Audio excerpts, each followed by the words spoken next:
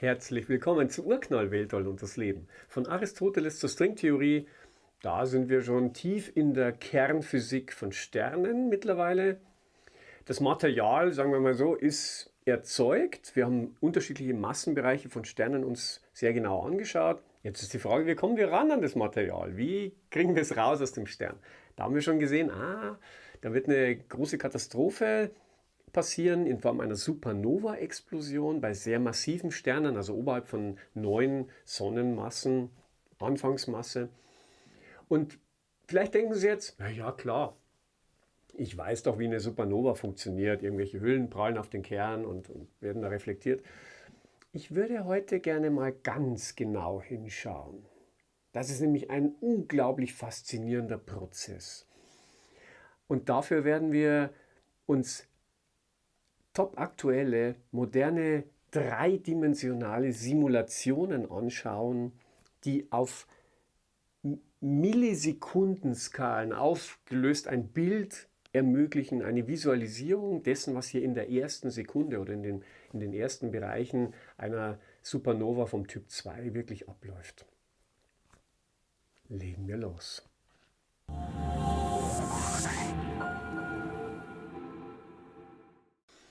Glücklicherweise hatte man ein Anschauungsobjekt, die, die Supernova 1987a. In dem entsprechenden Jahr hat in der großen Magellanschen Wolke stattgefunden, also in einer Begleitergalaxie unserer Milchstraße, so 160.000 Lichtjahre entfernt etwa. Und, und dabei haben sich ein paar interessante Beobachtungen ergeben. Zum einen war sehr früh, auffallend früh, harte Gamma- und Röntgenstrahlung eingetroffen. Das war schon mal ungewöhnlich in, in der Beobachtung. Das, das wies hin auf radioaktive Zerfälle, die irgendwie weiter draußen stattgefunden haben müssen. Und Doppler-Effekte in den Linien, in den Spektrallinien, die hatten auch starke Asymmetrien. Also dieses Bild eines gleichmäßig expandierenden und explodierenden Sterns in Form von konzentrischen Reaktionen war da schon ins Wanken geraten. Irgendwie mussten ja diese, diese, dieses radioaktive Zeug weiter nach draußen gekommen sein, damit es so früh bei uns die entsprechende Strahlung anlanden kann. Dann diese Asymmetrien, die man beobachtet hatte, in diesen Dopplerlinien, großskalige Mischprozesse mussten hier eine Rolle spielen. Das Ganze musste irgendwie durchwalkt werden. Nur wie? Das, das war die Gretchenfrage. Dafür hat man jetzt Simulationen aufgesetzt, aufwendige Berechnungen, die erst möglich waren durch parallelisierte Codes, durch hm, leistungsfähige Großrechenanlagen. Die Simulation, die ich jetzt gleich zeigen werde, die wurde zum Beispiel mit 16.000 Rechnerkernen, mit, also am Super MUC, wie das Ding heißt, mit 5 mal 10 hoch 20 Gleitkomma-Operationen berechnet, um 700 Millisekunden, also 0,7 Sekunden dieser Supernova herauszuarbeiten. Da, dafür mussten diese Prozessoren ein halbes Jahr durchgehend rechnen. Also das sind die aufwendigsten Rechnungen äh, vielleicht überhaupt. Mittlerweile konkurrieren sie auch ein bisschen mit diesen zusammenstoßenden Sternleichen und diesen Dingen. Da werden wir noch ein eigenes Video dazu machen. Aber hier war jetzt mal klar, man möchte genau herausarbeiten, wie kann diese großräumige Durchmischung passieren, wie muss man sich das vorstellen. Und Gehen wir nochmal zurück zu dieser Schalenstruktur vielleicht gedanklich. Draußen dieses Wasserstoff mit einem dicken Helium und dann so nach innen diese Zwiebelstruktur mit Kohlenstoff, äh, Neon, Sauerstoff, Silizium. Innen ist ein Kern, der hat so 1,3 bis 2,5 Sonnenmassen, der zentrale Bereich. Und die Masse und die Dichte dort, die nimmt ganz allmählich zu erstmal noch. Und, und dadurch kommt es zu Elektroneneinfangsreaktionen. Also was heißt das? Wenn Sie ein Neutron zerfallen lassen in ein Proton, ein Elektron und ein Antineutrino, dann ist es der natürliche Verlauf, weil das Neutron eben ein bisschen schwerer ist. Aber wenn Sie jetzt so hohe Dichten und so hohe Energien haben, dann kann auch diese umgekehrte Reaktion ablaufen. Dann kann auch aus einem Proton und einem Elektron, deshalb spricht man von Elektroneinfang, Proton und einem Elektron ein Neutron und ein Neutrino werden. Das Neutrino, das ist das, was wir gleich brauchen werden. Diese, da ist immer mehr Zeug vorhanden, immer mehr Energie vorhanden. Und dadurch kommt es zu diesen Einfangreaktionen. Das nimmt ein bisschen Energie weg. Zusätzlich haben sie das große Problem, dass Kerne durch die harte Strahlung dissoziiert werden. Das nimmt auch Energie weg, weil wir hatten ja Energie gewonnen, als wir sie fusioniert haben. Entsprechend verlieren wir die wieder, wenn, wenn die auseinanderschlagen. Hier, hier geht also sehr effektiv plötzlich Energie verloren. Und es werden Neutrinos freigesetzt. So, das Ganze passiert jetzt so an der Grenze, an der Chandrasekhar-Grenze, die haben wir auch schon äh, kennengelernt. Also das Ding implodiert innerhalb von Sekunden von einem Gebilde, von einem Kern, der ungefähr so groß war wie unser Mond, also sagen wir mal so 3000 Kilometer Radius, also als grobe Größenordnung, hin zu einem Neutronenstern. Also zu einem Gebilde, das dann nur noch einen Radius von 10, 20 Kilometern hat. Die Entartung des Neutronensterns, die gebietet jetzt dem ganzen Geschehen Einhalt. Das führt dazu, wir haben jetzt dann eine Dichte, die, die ist höher als, als Kernmaterial im Endeffekt. Und, und, das lässt sich nicht mehr weiter komprimieren, so ohne weiteres. Und, und das führt dazu, dass wir hier abrupt enden und dann an der Kante zu dem ja mit Überschallgeschwindigkeit im Plasma einströmenden Material bildet sich eine Stoßfront, eine Schockfront, eine Schockwelle. Und dann muss das weiter einströmende Material durch diese Stoßfront, die sich anfangs noch innerhalb des Eisengruppenelementenkerns hier bewegt, aber sich nach draußen Weg bahnt jetzt. Und bei diesem Eintreffen auf diese, bei diesem Einschlag auf diese Stoßfront, da wird jetzt eine gewaltige Energie freigesetzt. Die, diese, dieses Material wird natürlich extrem aufgeheizt auf mehrere MeV, Millionen Elektronenvolt.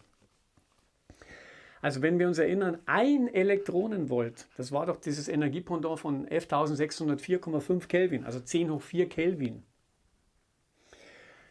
Hier haben wir Mega-Elektronenvolt. Diese Strahlung, diese Photonen, die sind so hart, dass sie alles dissoziieren, was sich hier in den Weg stellt. Diese Eisengruppenelemente werden also zerlegt in Neutronen und Protonen. Die ganze Mühe über Jahrmilliarden hinweg, das Zeug zu fusionieren, wird hier innerhalb ganz kurzer Zeit umgedreht. Das ganze Material wird wieder zersetzt in die Bestandteile. Und das verschlingt eine ungeheure Energie. Pro Nukleon etwa 8,8 Megaelektronenvolt. Wie gesagt, beim Fusionieren haben wir die Energie gewonnen. Da hat ja die starke Kernkraft zugepackt. Das war ja das, was wir dann nutzen konnten. Jetzt müssen wir gegen die starke Kernkraft kämpfen. Wir verlieren also diese Energie. Das ist eine, eine unvorstellbare Hypothek für diese Stoßfront. Und die schwächt sich so sehr ab, dass sie zum Erliegen kommt. Und das war lange Zeit das große Problem auch bei diesen Simulationen, dass die, die Berechnungen nie zu einer explodierenden Supernova geführt haben. Weil man endete damit, dass die Stoßfront einfach so viel Energie aufzehren musste und, und, und dran geben musste, dass sie zum Erliegen kommen. Und von außen stürzt ja immer noch jede Menge Material ein. Und jetzt, jetzt kommt eigentlich der, der totale Wahnsinn aus meiner Sicht. Und jetzt zeigt sich eben, dass diese vielen Neutrinos, die jetzt durch diese Einfangreaktionen, diese Elektroneneinfangreaktionen freigesetzt werden und bei diesen extrem hohen Photonen, bei diesen hohen Energien, kommt es auch zu direkten Paarbildungen. Da können also alle möglichen Flavors von Neutrinos erzeugt werden. Da können auch Myon- und Antimyon-Neutrinos, Tau, Antitau-Neutrinos. Alles ist hier irgendwo involviert. Und diese unvorstellbare Menge an Neutrinos bei sehr, sehr hohen Energien, die haben jetzt 10 bis 20 Mal höhere Energie als unsere solaren Neutrinos. Mit der Energie, Vorsicht, steigt auch der Wechselwirkungsgrad bei typischen Reaktionen. Das heißt, die Neutrinos sind nicht mehr ganz so harmlos, wie wir sie jetzt kennen von den solaren Neutrinos. Schon mal zum einen, sie wechselwirken einen Ticken stärker und sie treten in einer solchen schieren Anzahl auf, dass dann dieser geringe Wechselwirkungsquerschnitt ausreicht, um tatsächlich was zu bewegen. Im wahrsten Sinne des Wortes, nämlich diese gewaltige Stoßfront wieder in Bewegung zu setzen nach draußen. Sobald Sie diesen, diesen diese Stellungskonfrontation hier auflösen können in eine Bewegung, kommt wieder mehr Material, das zur Verfügung steht, das Sie wieder dissoziieren können. Dann haben Sie wieder mehr freie Neutronen und Protonen, dann haben Sie wieder mehr Einfangreaktionen. Mehr Einfangreaktionen machen mehr Neutrinos, mehr Neutrinos schieben stärker und so kommt es zu einem selbstverstärkenden Prozess, zu einem Runaway-Prozess. Und damit frisst sich diese Stoßwelle nach draußen immer weiter fort. Sie bahnt sich Weg und es gibt kein Halten mehr letztendlich. Und das Ende, das ist es, was wir eine Supernova-Explosion nennen.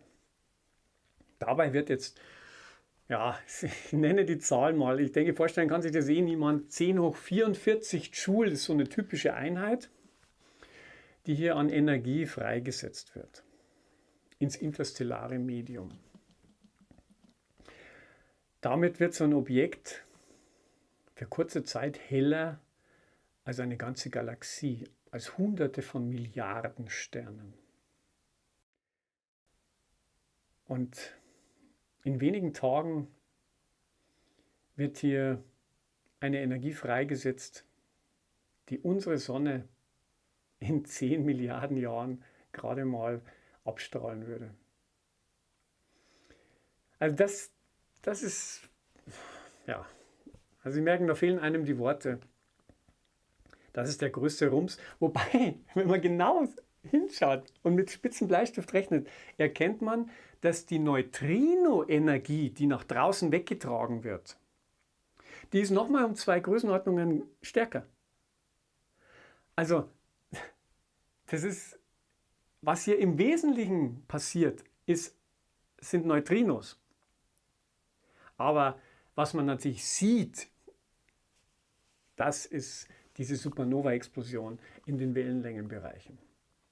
Ich zeige Ihnen hier im Hintergrund mal die Supernova 1994D. Anhand dieser Buchstaben werden die einfach nur durchnummeriert nach den Beobachtungen im jeweiligen Jahr. Das Objekt ist 50 Millionen Lichtjahre entfernt. Und hier sehen Sie auch so eine typische Energiefreisetzung. Man nennt es auch einen FOE. Also 10 hoch 44 Joule. Das ist, und wird hier nochmal mit einer eigenen Einheit bezeichnet. Und ich denke, das kommt aus dem amerikanischen, das ist so eine Abkürzung für 10 hoch und dann 51 erg. Also in dieser Energieeinheit erg ist es halt 10 hoch 51 und ich glaube, daher kommt diese, Ab diese Abkürzung FOE. Um nicht mit diesen irrwitzigen Zehnerpotenzen immer arbeiten zu müssen. Und Sie sehen, das, das Objekt ist so hell wie die ganze Galaxie. Das alles Entscheidende, das Ganze ist hier eine Neutrino-Show. Das ist nur von außen her für unsere Augen, für unsere Teleskope erstmal nicht so eindeutig. Die Neutrinos sind hier die maßgebenden Akteure. Ganz genau genommen dieses, dieses zu stehen kommen dieser Stoßfront, das passiert auch an einer charakteristischen Neutrino-Stelle, nämlich innen ist es sehr, sehr dicht. Also ich weiß nicht, wie weit wir jetzt hier einsteigen wollen. Also innen ist, ist der Kernbereich sehr, sehr dicht. Da haben die Neutrinos kaum freie Weglänge. Und irgendwann nach draußen hin wird es weniger dicht, weniger dicht, weniger dicht. Kommen wir an den Punkt, wo dieses sogenannte Last Scattering, diese letzte Interaktion statistisch stattfindet. Und ab dann haben die Neutrinos so gut wie freie Bahn. Und das nennt sich hier eben dieses Neutrino Last Scattering. Das ist ein charakteristischer Bereich, sagen wir mal 100 bis 200 Kilometer vom Zentralbereich weg. Und wenn die, die Stoßfront sich bis dorthin vorgefressen hat, dann wird ein sogenannter Deleptonisierungsblitz dazu führen, dass das ist ja nichts anderes als wieder dieses Aufzehren durch diesen Elektroneneinfahren, werden die Leptonen entsprechend weniger und das sind äh, diese Neutrinos, das hatte ich ja alles erklärt. Und, und an dieser Stelle gibt quasi die, die Stoßfront dann auf und kommt komplett zum Erliegen. Dann, dann wird es eine stehende Front, auf die von draußen her Material einprasselt und, an, und drückt, aber von innen her der, der Druck auch entsprechend gleich stark ist und das passiert etwa an dieser Kante, die wieder von den Neutrinos bestimmt wird. Ich wollte nur noch mal herausstreichen, dass die Neutrinos das alles Entscheidende sind im Verständnis dieser Supernova-Explosionen. All das wollte man halt jetzt in diesen Simulationen bestätigt wissen, erkennen können in diesen Simulationen. Dieses Heizen der Neutrinos, diese Tatsache, dass die insbesondere zwischen Neutronenstern und Stoßfront in dem Bereich ganz effizient eben heizen und dann letztendlich die, diese entscheidende Explosion herbeiführen. Dann wollte man diese Durchmischung sehen, diese Prozesse, die sich anhand der 1987a ergeben haben. So, es wird Zeit, dass ich Ihnen hier mal was zeige. Anhand dieser Simulationen werden Sie das sehr schön erkennen. Da hat sich nämlich darüber hinaus noch mehr ergeben. Dieser Mischprozess, da, da ist eine Art Schwipp-Schwapp-Bewegung. Also da sieht man, dass so dass das Material äh, schunkeln hier innerhalb des Zentralbereichs. Das arbeitet hier so hin und her. Da, gibt es zwei verschiedene Moden. Einmal nur das Hin und Her, das ist das, was zu Beginn passiert. Dann zwischendurch sieht man so eine Art Explosionspilz. Also Sie, Sie kennen das ja von Aufnahmen, von ähm, unrühmlichen Aufnahmen von diesen Atom, Tests, wenn so ein Atompilz entsteht innerhalb der Atmosphäre, das ist also ein gewisser Widerstand durch die Atmosphäre, aber das Zeug ist so effektiv geheizt, steigt also so schnell auf, dass sich dann so ein Pilz ausbildet. Das ist natürlich jetzt auf der Oberfläche eines Planeten mit einer Atmosphäre drüber. Wir müssen jetzt hier dreidimensional denken. Das heißt, der Pilz wird sich in alle Richtungen irgendwie ausbreiten. Das sieht man auch hier dann tatsächlich. Dann kommt es zu einer zweiten Schwippschwapp-Bewegung. Die ist aber ein bisschen spiralförmig hier moduliert noch.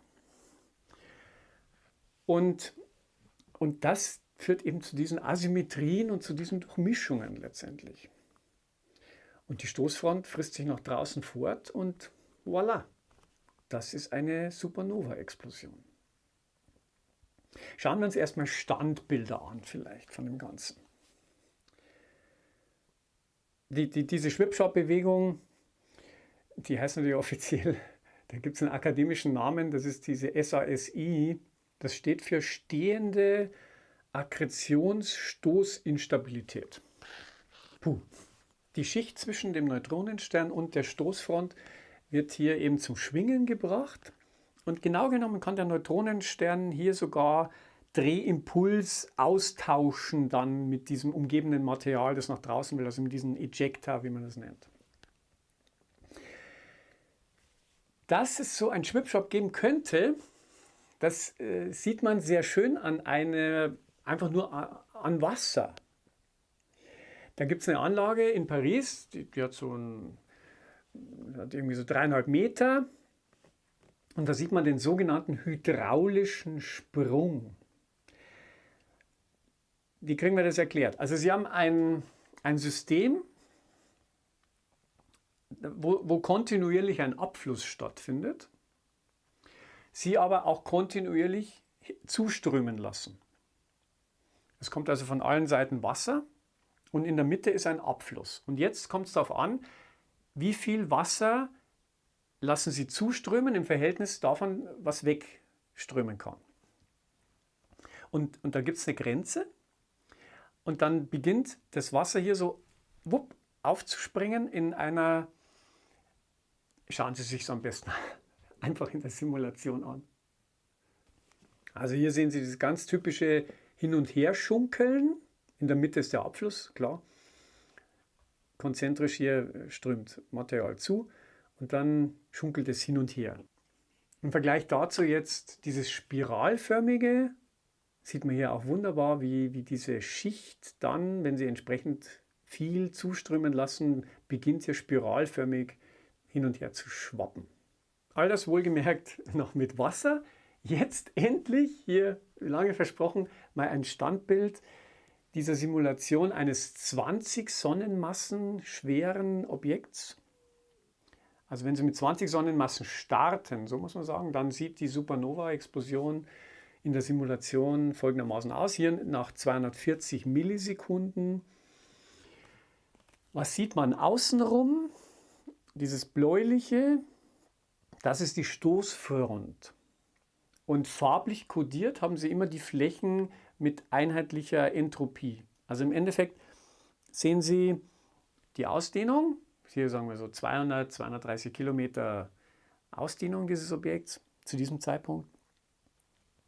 Und von unten her sieht man schon, wie, wie das Schwappen so beginnt. Hier sind wir schon etwas später bei 300 Millisekunden angelangt. 256 Kilometer Ausdehnung sehen Sie selber.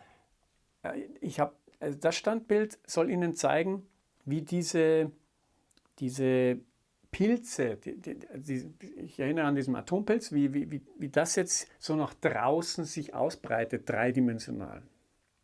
In alle Richtungen ein bisschen. Hier sind wir bei 390 Millisekunden. Sehr schön jetzt diese Stoßfront zu sehen. Dieses Ausbreiten nach draußen.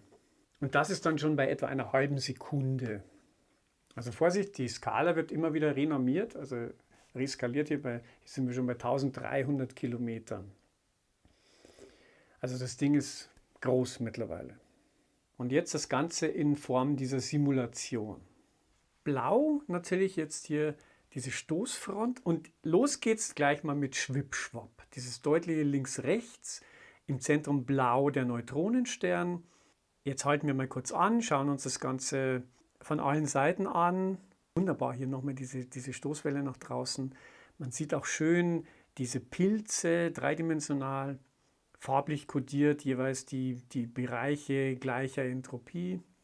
Die Größenskala zeige ich Ihnen gleich in der nächsten Simulation nochmal besser. Hier geht es jetzt einfach mal darum, für 20 Sonnenmassen hier es einmal zu erleben, wie im Zentralbereich hier diese Supernova passiert. Wer noch tiefer einsteigen möchte in die Theorie, hier sieht man natürlich Kelvin-Helmholtz-Instabilitäten, Rayleigh-Taylor-Instabilitäten. Also das lässt schon erahnen, dass was hier gerechnet werden muss, das ist enorm. Wir drehen eine kleine Ehrenrunde und schauen uns das Resultat an.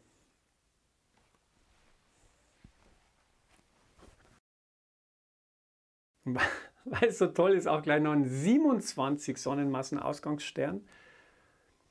Hier mit dem Zentralbereich auch deutlich sichtbar gemacht. Und, und sehr früh begonnen. Es läuft also jetzt erst 100 Millisekunden lange. So, und jetzt kommt die spannende Phase. Da haben wir ein bisschen Schwippschwapp. Durchmischung des Materials. Das macht auch dann vieles effektiver. Diese Mischprozesse steigern die Effektivität dieser beteiligten Prozesse.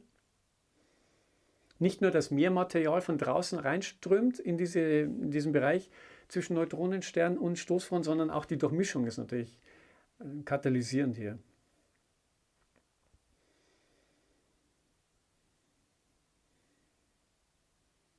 Jetzt sind wir bei 300 Millisekunden.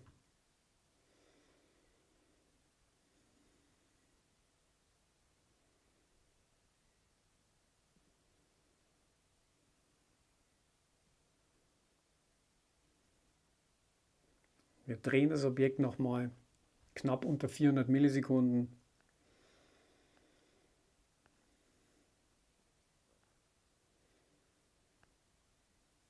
Ja, das ist einfach. Habe ich Ihnen zu viel versprochen? Das ist einfach. Ich finde es grandios. So, jetzt kommt dieses zyklische, also die, dieses zirkuläre Schwippschwapp hier nochmal. Hier sehen Sie jetzt auch die beteiligten Personen an der Simulation und an der Visualisierung. Also Chapeau, Hut ab. Vielen Dank äh, für, für diese Möglichkeiten hier, so etwas mal zu visualisieren. Das Ganze ist jetzt nicht nur beeindruckend anzuschauen, das hat auch beeindruckende Konsequenzen. Das sehen wir hier anhand dieser Nuklidkarte. Hier sind also die chemischen Elemente aufgezeichnet, die wir in unserem Universum haben. Horizontal die Anzahl der Neutronen, vertikal die Anzahl der Protonen. Und da sieht man schon, in, bei diesen kleineren Kernen, da ist es sehr schnell mal mit gleicher Anzahl, gleich viele Protonen wie Neutronen, aber je schwerer die Kerne werden, umso, umso mehr beugt sich das Ganze dann Richtung Neutronenüberschuss.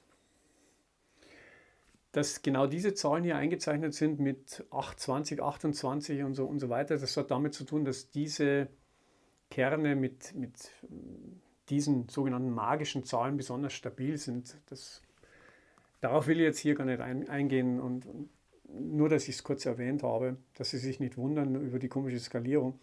Worum es mir geht, ist jetzt, wie kommt es überhaupt zustande? Wir haben noch gesehen, im Stern kommen wir nur bis zu diesen Eisen-Nickel-Tralala-Elementen hier, diesen Eisengruppenelementen. Und bei dieser Supernova und auch bei ein paar Prozessen vorher, muss man fairerweise sagen, im roten Riesenstadium bereits, da wird jetzt so viel Energie frei, dass auch Reaktionen über diese Eisenelemente hinaus ablaufen können. Die weißen Elemente im mittleren Bereich, das sind die stabilen. Die blaue Zone, also oberhalb, da haben wir Beta-Plus-Zerfall. In dem roten Bereich, da haben wir Beta-Minus-Zerfall. Beta-Minus war die Sache mit einem Neutron. Irgendwo im Kern wird zu einem Proton, einem Elektron und einem Antielektron Neutrino. Und das wird entsprechend freigesetzt.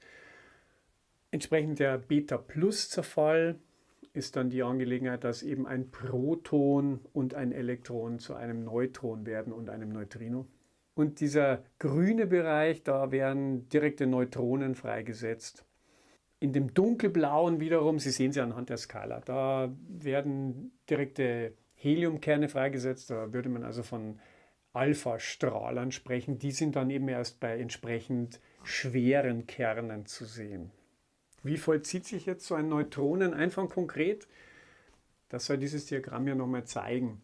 Wir haben ein Objekt und es fängt ein Neutron ein und im weiteren Verlauf wird dadurch ein Zerfall möglich. Nehmen wir jetzt mal den Beta-Zerfall, das heißt das Neutron zerfällt dann zu einem Proton. Also, erstmal kommt ein Neutron hinzu, wir müssen also in dieser Nuklidkarte einen Ticken nach rechts gehen. Dann zerfällt es, es fällt nicht zu nichts, sondern zu einem Proton, also müssen wir eigentlich grundsätzlich wieder zurück. Aber weil ein Proton dabei entsteht, müssen wir nach oben. Das heißt, wir kommen auf diese Art und Weise eine Nummer höher in der Nuklidkarte. Dort kann dann wieder ein Neutron angelagert werden, geht sich dann nach rechts. Es kann vielleicht auch inzwischen schon ein zweites Neutron angelagert werden, wie Sie in dem Beispiel sehen. Und später kommt es dann eben wieder zu einem Zerfall.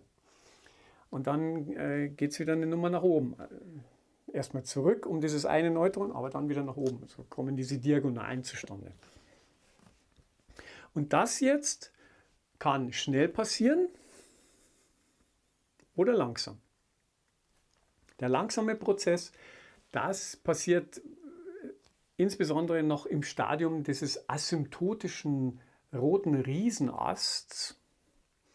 Das heißt, in diesen heliumbrennenden Schichten dieser pulsierenden roten Riesen, dort wo die Fusion von Neon mit Helium zu Magnesium stattfindet, also dieses Neonbrennen, dort kommt es zu diesen enormen Dichten von freien Neutronen. Eins ist klar, der Prozess läuft dann natürlich ab, wenn Sie ganz viele freie Neutronen haben.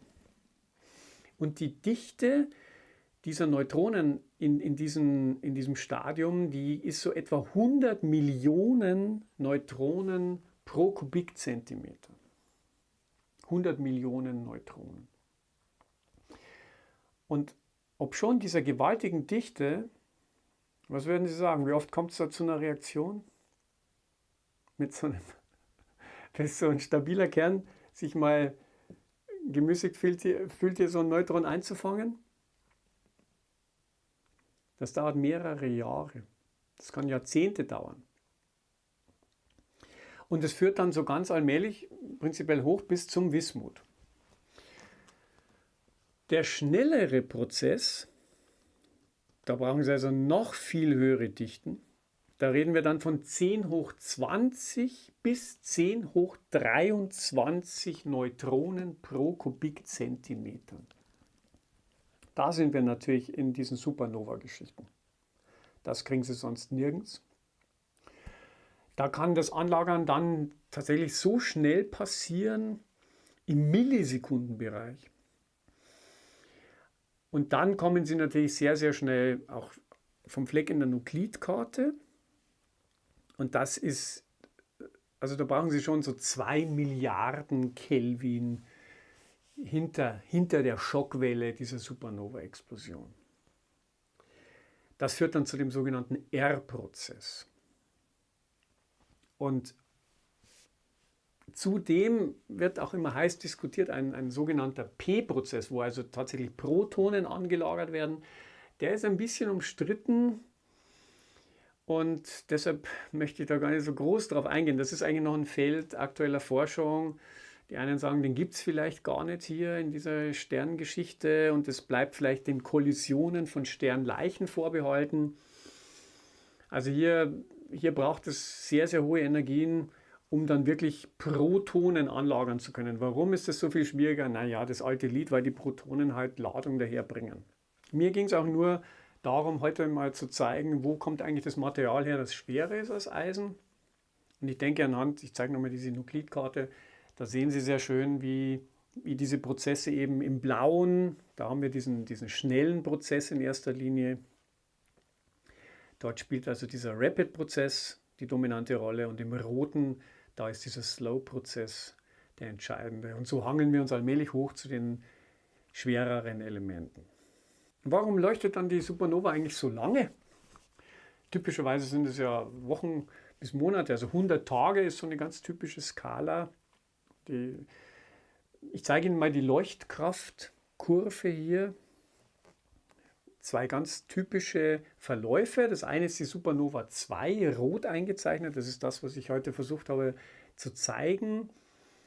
Das ist also dieser starke Anstieg und dann äh, kommt es zu einem Abfall, aber dann bildet sich so ein Plateau aus. Und erst nach dem Plateau, vielleicht so nach 100 Tagen, äh, kommt dann der, der tatsächliche stärkere Abfall. Warum gibt es hier dieses Plateau? Weil die Leuchtstärke hier nochmal gespeist wird von radioaktiven Zerfällen. Nickel zu Kobalt, das geht sehr schnell, sagen wir mal innerhalb von einer Woche, mittlere Halbwertszeit. Und dann nach zehn, zehn Wochen Halbwertszeit geht es dann runter zum Eisen. Und das führt dann zu dieser 100 Tage, zu diesem Plateau. Während zum Beispiel eine Supernova 1a, die habe ich Ihnen zum Vergleich eingezeichnet, hier blau, die, die piekt natürlich auch, fällt aber dann sehr schnell kontinuierlich ab. Da haben Sie eben nicht diese Nickel-Kobalt-Eisen-Geschichten in diesem Umfang.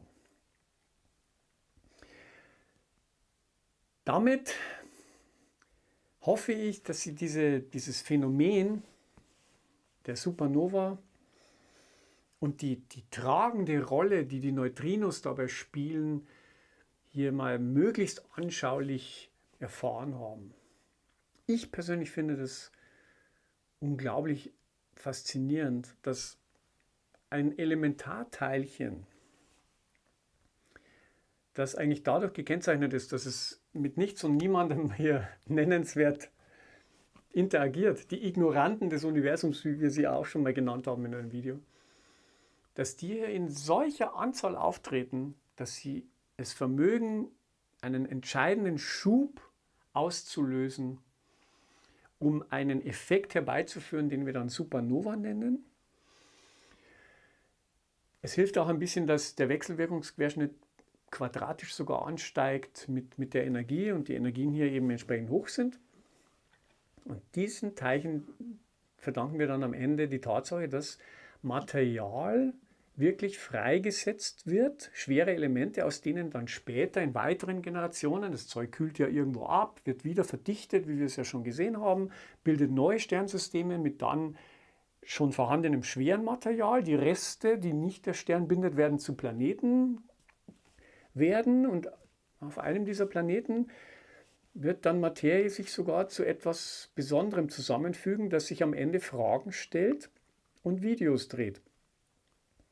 Das, das ist die Grundlage unserer Existenz, die wir hier sehen, die wir den Neutrinos oder dieser gewaltigen Explosion verdanken. Also das, was hier auf den ersten Blick wie eine schreckliche Katastrophe wirkt, das ist in Wirklichkeit ein großer Segen im Universum, als Lebensform betrachtet zumindest.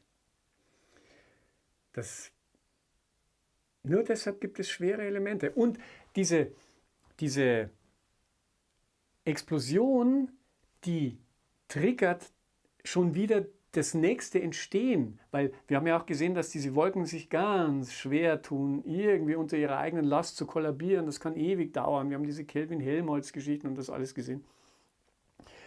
Und wenn dann natürlich eine Supernova-Druckwelle durchrauscht und alles zusammenfügt, die, die Druckwelle erleichtert natürlich den, den lokalen Kollaps enorm. Das heißt, das sind Geburtshelfer dieser neuen Sterngenerationen. All das hat sehr, sehr positive Effekte. Diese Katastrophe ist eigentlich ein Segen. Darauf wollte ich raus. Dann könnten wir nämlich als Schlusswort heute Goethe nehmen, den Mephisto in Goethes Faust. Denn genau das ist es, woran mich Supernovae immer erinnern. An dieses schöne Zitat, ich bin ein Teil von jener Kraft, die stets das Böse will und stets das Gute schafft.